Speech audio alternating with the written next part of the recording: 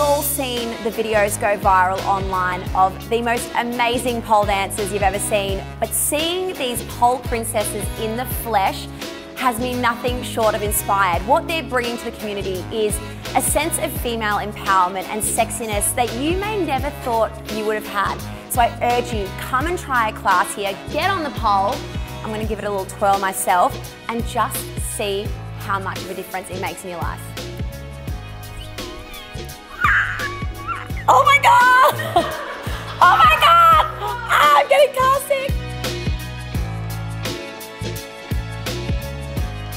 Hi, I'm Anastasia and these are my princesses. We're here to change your mind about pole dancing, so just come down and give it a go. Ah! Oh my God! And cut.